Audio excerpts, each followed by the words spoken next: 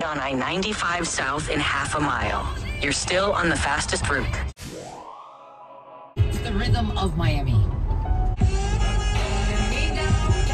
At the light, turn right onto Hollywood Boulevard. The destination is on your right. Sweet blueberries you've been craving for cobblers, pancakes, and all your favorite homemade recipes.